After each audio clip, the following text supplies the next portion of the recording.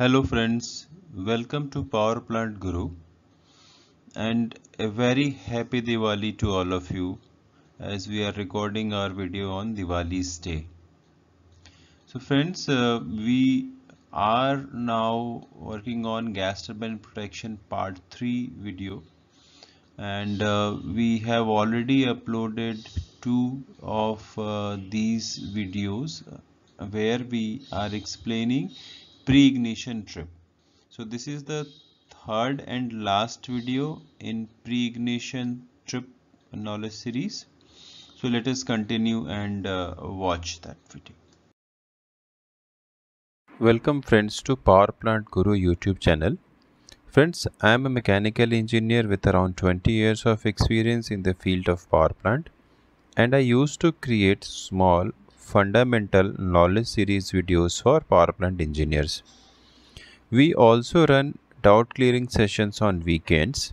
So if you want to reach us, you can reach us through comment section and join our weekend classes. Let us continue to watch our today's video.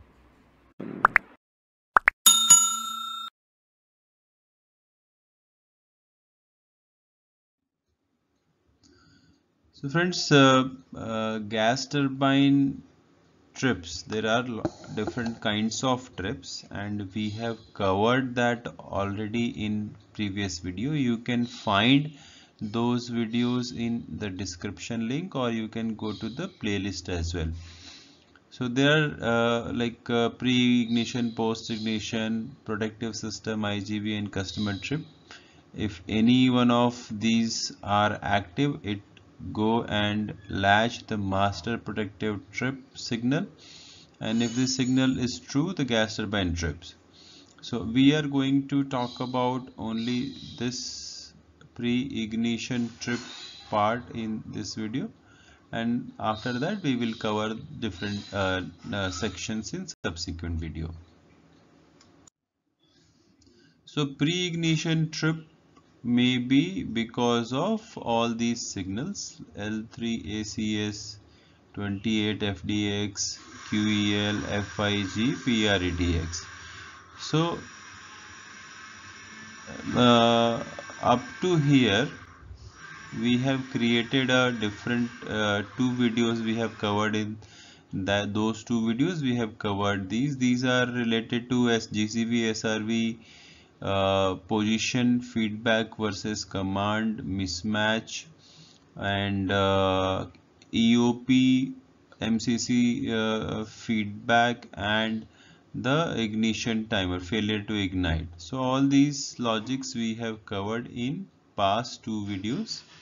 You can find those videos if you watch want to watch that so another thing is that this L4 PRETX which comprises of uh, 3 to 4 uh, uh, different parts. So that is why I wanted to make a different video on that so that you get not uh, cannot uh, get confused with that.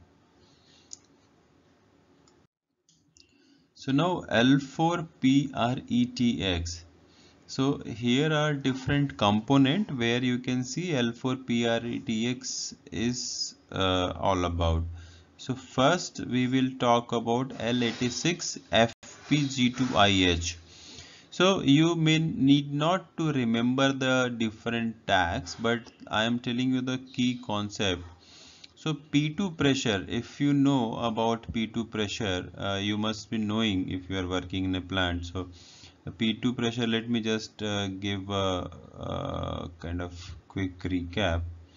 So there is a GCV and SRV connection uh, control valves. So first will be SRV followed by that will be sorry. And then it goes to gas turbine uh, combustion system and here uh, the whatever the pressure is there that we call as a P1 pressure this is called as a P2 pressure which is after SRV so if your machine is about to start then this SRV should be closed right? Before startup it has to be closed and then this pressure has to be uh, because there is a vent also. So this pressure has to be zero somewhat zero. But if your this pressure is higher that means that there are some gas is passing from this valve right? So that is a hazardous condition. And for that protection uh, uh, this this uh, protection is given where there is a constant AF2GIH KFP-G2IH that uh, there is some constant control constant and uh, machine watch that the P2 pressure should not be higher than this for a healthy condition. But in case when P2 pressure is higher than this constant then it detect there is an unhealthy situation and it uh, trigger this L4 PRETX which causes this uh, uh, pre-ignition trip and which causes the master protective uh, system and goes for a pre-ignition trip. Hope you have understood. The next uh, uh, is another protection which is uh, similar but here it is P2 pressure is increasing with SRV closed and it is higher than 0.75 times of 20 bar so this may be 20 bar for one machine maybe 21 for different machine.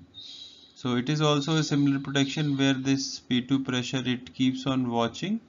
And if it goes beyond uh, your uh, uh 20 bar seems to be normal operating pressure. And it says that if your pressure is already 75% of normal operating pressure when this valve is already closed that is a unhealthy condition and then it also gives your L4 PRETX which goes for pre-ignition trip and master protective system. The third one is you related to your uh, hazardous gas sensors. So you might be aware that uh, there are different uh, uh compartments or module in gas turbine. One being uh, uh, a gas valve module or someone say gas compartment where this GCV, SRV valves are located. So these may have your hazardous sensor has gas and another may be your turbine compartment.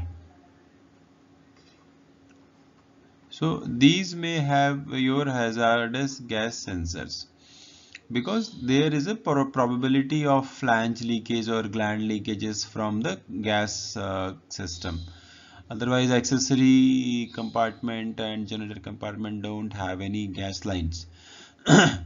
So uh, uh, it is very important to check for hazardous gas detection in these two areas. And there are different sensors to monitor that and uh, that is why it is saying that if you have two sensors and both the sensors are more than 7% value that means there is some leakage. And due to that leakage your machine should not further proceed for startup. So then you have a pre-ignition trip.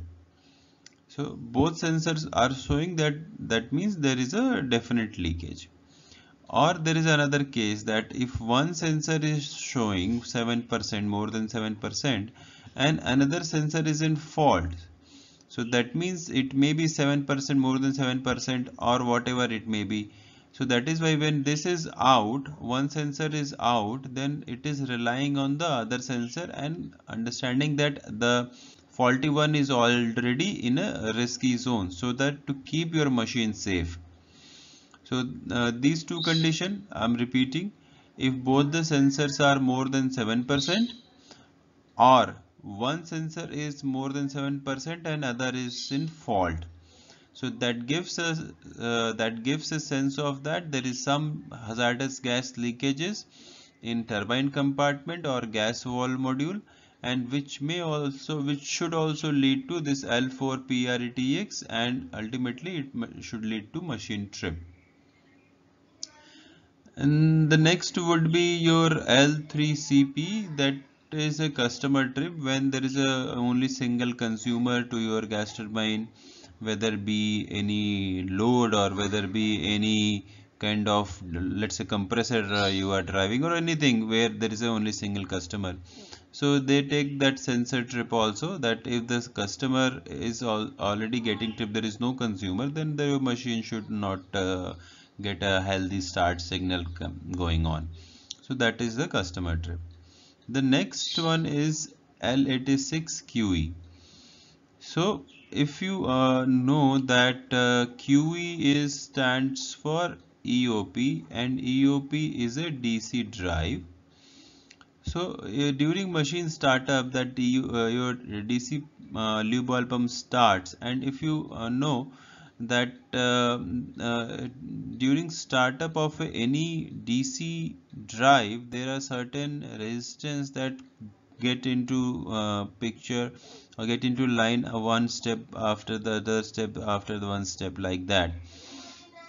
So they the, the machine would check that uh, your all that resistance are getting into line one by one within stipulated time or not that will check the healthiness of your system.